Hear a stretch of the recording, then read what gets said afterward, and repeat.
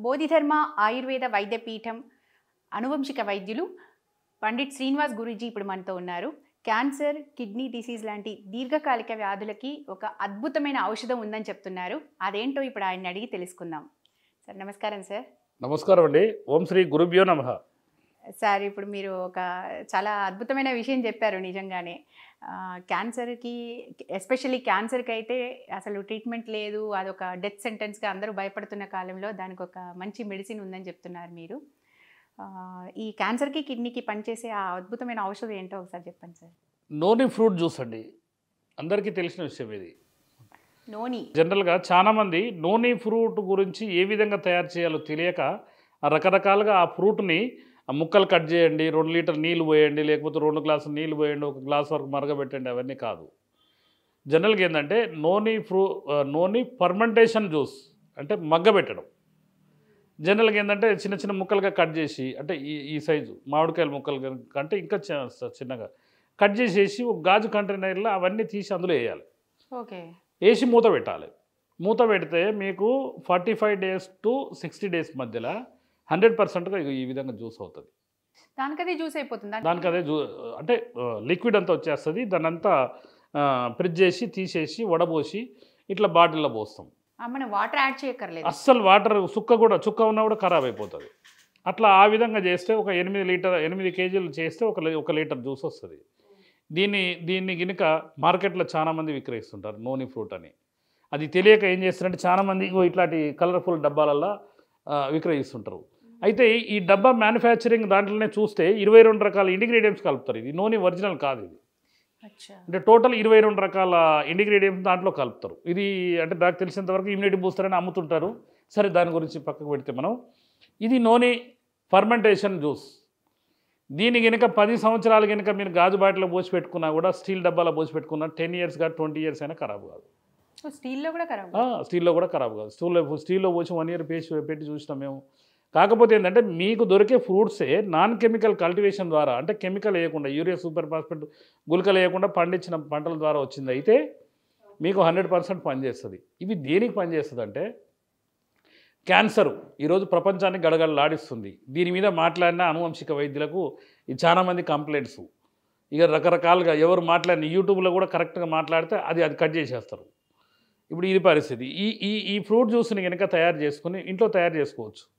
మంచిగా జాగ్రత్తగా ఏడన్నా నాన్ కెమికల్ కల్టివేషన్ అయిన ఫ్రూట్స్ ఏమన్నా ఒక పది కిలోలు తెచ్చుకొని ఒక పది కిలోల కంటైనర్ అంటే గాజు డబ్బా కానీ లేకపోతే జాడి కానీ మనం పచ్చళ్ళు నిల్వ చేసుకునే జాడీలో కానీ పెట్టి ఆ మూత పెట్టి గట్టికి కట్టేసి మీరు ఫార్టీ ఫైవ్ డేస్ తర్వాత కానీ సిక్స్టీ డేస్ వరకు కానీ ఇప్పుడు వన్ ఎయిటీ డేస్ కూడా పెడుతున్నాం మేము.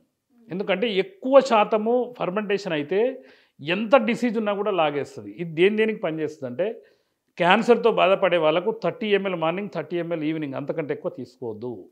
కిడ్నీ సమస్య డయాలసిస్ అయిన వ్యక్తి అయినా కూడా ఎన్ని సంవత్సరాల నుంచి డయాలసిస్ అయినా కూడా వితిన్ మూడు నెలల నుంచి తొమ్మిది నెలలు లేదా సంవత్సరము కిడ్నీ సమస్య పోతుంది. సీకేడీ ఉన్నా సార్. సీకేడీ ఉన్నా కూడా. కర్ణాటకలో ఒక మహానుభావుడు చేసి చూస్తే అసలు ఆయన ఈ ఈ నేను ఒక చిన్న వీడియో పెట్టాను. ఈ ఫ్రూట్ నోని ఫ్రూట్ అని.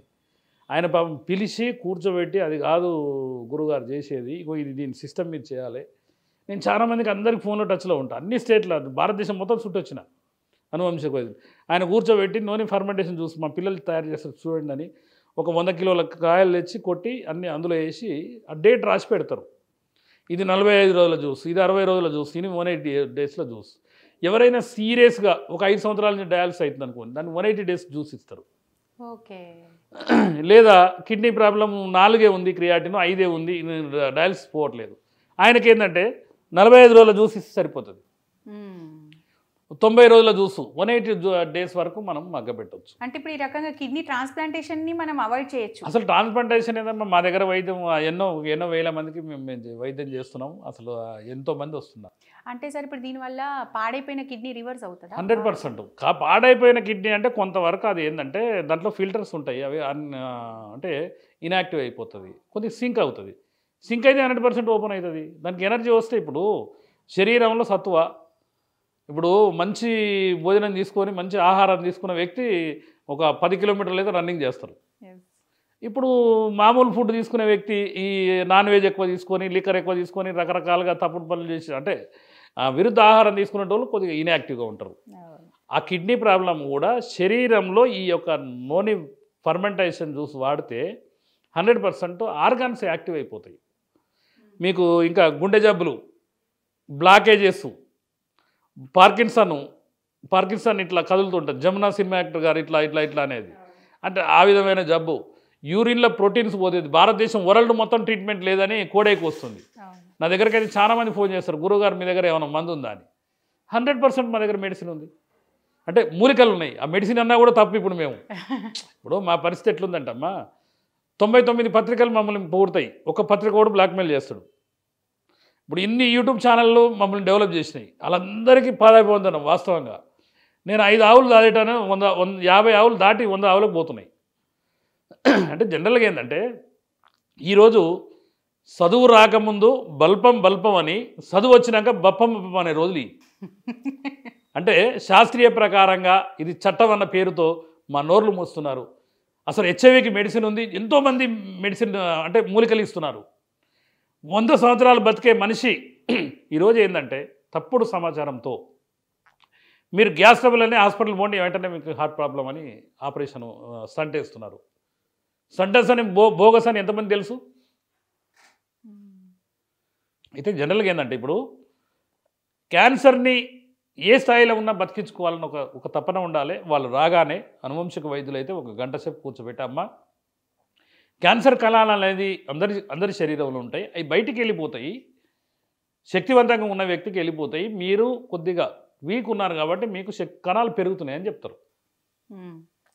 అసలు ఇది వాస్తవం. ఈ వాస్తవం ఎంతమంది చెప్పారు?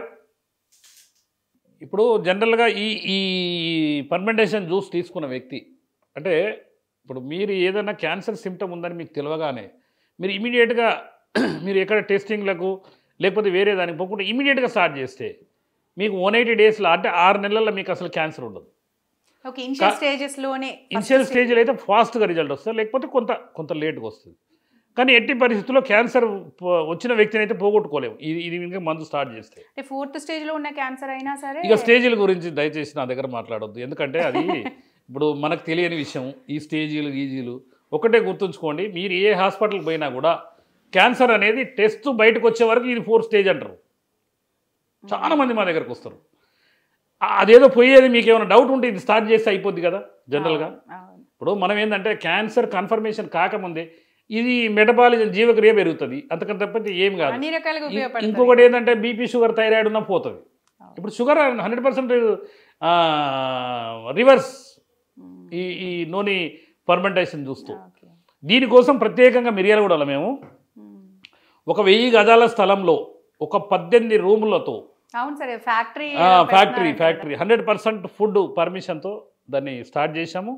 విత్ ఇన్ వన్ వన్ మంత్లో. అంటే ఆల్రెడీ మెడిసిన్ మన సిరప్లు అయితే పంపిస్తున్నాము అంటే. స్పెషల్లీ ఫర్ నోని జ్యూస్ కోసం నోని ద్రాక్ష? ఒకటి ప్లస్ ఈ రకరకాల అది ఫర్మెంటేషన్ జ్యూసెస్ ఒక పది. మీకు తర్వాత వీడియోలో నేను పూర్తి వివరాలు చెప్తాను. కానీ ఇది ఒక మంచి అవకాశం క్యాన్సర్ సీకేడి పేషెంట్లకు. అంటే మీరు ఒక రకంగా ఓవరాల్గా మీరు చెప్పేది ఏంటంటే ఏది జబ్బు లేకుండా ఉన్నప్పుడు ఆరోగ్యవంతులైన వాళ్ళు కూడా రోజు ఇది తీసుకుంటే ఏ జబ్బు రాకుండా ఉండే అవకాశం ఉంది అంటారా? టెన్ ఎంఎల్ చాలమ్మా రోజు. ఉదయం టెన్ ఎంఎల్ సాయంత్రం టెన్ ఎంఎల్. జబ్బు పడ్డ వ్యక్తి ముప్పై ఎంఎల్ వరకు తీసుకోవచ్చు. అంతకంటే ఎక్కువ తీసుకోవచ్చు సో ఇట్లా కనుకుంటే అసలు రాకుండానే ఉంటుంది మెటబాలిజం హండ్రెడ్ పర్సెంట్ గ్యారంటీగా వ్యక్తి నిండు నుండు నూరేళ్ళు శతజీవన ఆరోగ్యం ప్రయాణం చేయగలుగుతారు.